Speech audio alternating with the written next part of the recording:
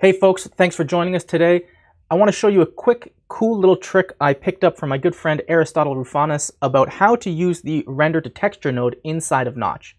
Now this node is really helpful because what it allows you to do is essentially create a behind the scenes rendering layer, which you can have a whole 3D scene getting rendered, but then having the ability to directly then redirect that as a texture into either a material or any other kind of maybe displacement map or whatever else you might need. Now, this is what we're going to be building today. I'm going to go ahead and delete it and start from the beginning. So the first thing we're going to do here is take a bunch of spheres, clone them across a plane, to, and then give it a little bit of a sine effector just to make a nice kind of little texture that we like. So I'm going to go ahead and start by bringing in a clone to mesh node, and I'm going to connect the root node to that clone to mesh node. Now for my clone to mesh node, I need two things. One of them is the mesh that's going to be used as kind of the master template of the cloning. Then I'm also going to need the geometry that I want to actually clone across the points of that mesh. So in both cases, in this example, I can rely on a good old-fashioned shape 3D. So I'll go ahead and create one shape 3D, and I'm going to make this a plane. And I'm going to take the output of it and connect it to the bottom left input of the clone to mesh. And then I'm going to create another shape 3D, which is going to be the object that I'm going to actually instance across that uh, plane that I just made. And I'm going to create, connect the output of the clone to mesh into that top input of the shape 3D. Now in this case, a sphere is fine for our example.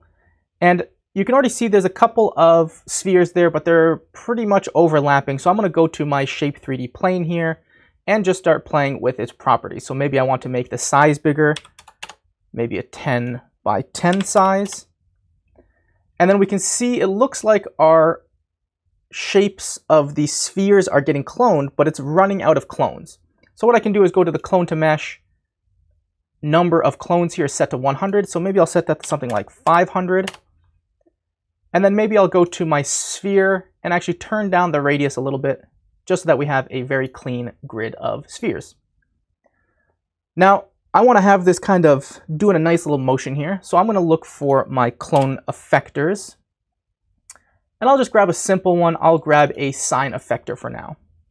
So I'll drag and drop that in, and I'm going to take the output of that sine effector and plug it into the second bottom input of the clone to mesh.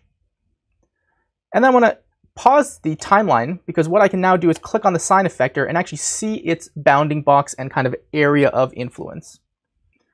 Now when I have this, I'm going to go ahead and start turning up the elements that I want the sine effector to impact. So in this case, probably I want it to do some position Y, and you can see as I start to move that, we're starting to see a little bit of that displacement. And maybe a little bit of position Z, just a, just a little touch. So now if I go ahead and hit play, we can see I've got that nice rolling wavy texture. Now, if I was going to use this as a texture on a material, I don't really want this kind of, you know, isometric camera angle on it. I just want a camera that looks top down right onto my grid here. So I can go ahead and search for the camera node, bring in a camera, connect the root to the camera, and then I'll just go ahead and do a nice quick and dirty line up here using the camera controls I have in the top right. I think that's just about good enough for my needs. Now a cool little trick I can do is once I've moved the interactive camera into the position I like, I can just go directly to that camera that I have, right click on it, go to camera options, and click set to current view. Now when I do that, it's going to take all of the transformations that I've done inside of my interactive viewer and actually write them as the properties of that camera. So now great, I have this whole texture set up and now I want to apply this as a texture and a material to maybe a sphere.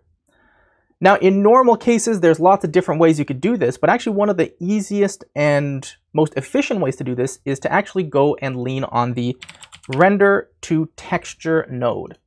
Now the render to textures node it does exactly what it says. It creates a separate render stage that happens off screen and provides you with a texture that you can use. So I'm going to go ahead and drag and drop that in. And what you're going to see are a lot of different inputs and outputs, but really don't be intimidated by it. It's very easy to use. So the first thing I'm going to want to do is take my root node and connect it to the top input of the render to texture. And then what I want to do is essentially take this whole scene that I've created and move it under the render to texture root node there. So first thing I'm going to do is disconnect my clone to mesh from the root here. And I'm going to disconnect my camera from the root. And I'm going to actually connect them to the render to texture node. And you can almost think of your render to texture node as becoming a secondary root node for all the things underneath it. So I can go ahead and connect the output of this to my clone to mesh and the output of this to my camera. Now we're not going to see anything on screen, but what we can do is go to the render to texture node and either show the render texture, which will give us a little preview of that texture up in the top right here, or what I can do is disable the render to texture pass, which essentially pushes everything back up to that root node. So now I know this is working and this is feeling pretty good. So now how do I use this as a texture for maybe a material? So first, let me go ahead and create another shape 3D here and I'm going to connect this to the root node. And you'll see that when I connect that, that sphere is the only thing seen in the root node because everything under my render to texture, that's being rendered off screen now. That's not affecting the main render in any way at all. So the sine effector, the camera, none of these things are really accessible inside of the main render that I'm creating with my root node.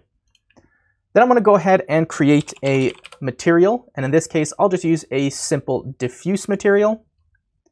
And if I want to connect that diffuse material, I can grab the output and connect it to the first bottom input of my shape 3D. And now I know that I want to get this rendered texture, the texture output of it, into this material. And wouldn't you believe it's really as easy as grabbing that same output and dragging and dropping that to the first input of that color texture, the color texture input of that diffuse material. And you can already see once I've done that, something really cool has happened. What I had created as a kind of separate rendering layer is getting fully rendered out into a flat texture and applied as a material to this new shape 3D that I've created. And we can zoom in on it and you know, this might not be the greatest piece of art. You know, you're not going to see this in, in the Guggenheim anytime soon, but the technique really opens up a lot of doors because now not only can you use Notch for creating your scenes, but if you did need to have generative textures or these kind of behind the scenes rendering operations happening for displacement maps or masks, all of this stuff can still happen in the same layer, in the same project, and be fed into a pipeline that's efficient like this with either a render layer or a render to texture to then use those in other parts of your network. So I hope that little trick helps you guys as well, especially if you're doing things like creating different textures or displacement maps. We found it to be super helpful. Hey folks, thanks for watching. If you're serious about learning TouchDesigner and getting into our interactive and immersive industry, I highly recommend you check out the Interactive and Immersive HQ Pro.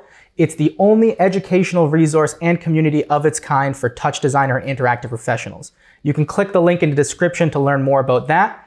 And if you like this video, hit that like button. And if you're new here, don't forget to hit subscribe and click on the little bell icon for more awesome free content.